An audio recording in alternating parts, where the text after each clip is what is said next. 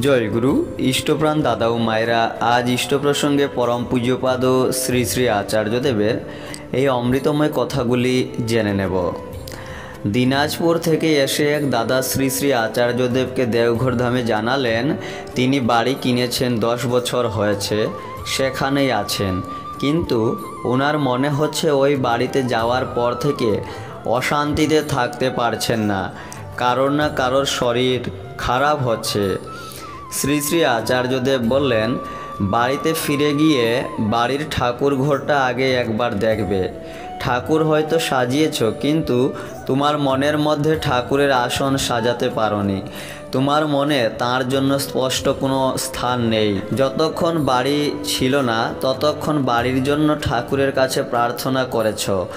আর যখন সেটা হয়ে গেল তখন যার জন্য তোমার বাড়িতে প্রবেশ হলো তাকে তুমি ভুলে গেলে।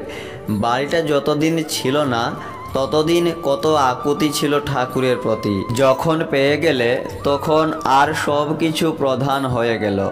ঠাকুরের প্রতি আর সেই আকুতিটা রইল না। তাহলে আকুতি হারানোটাই আসল সমস্যা।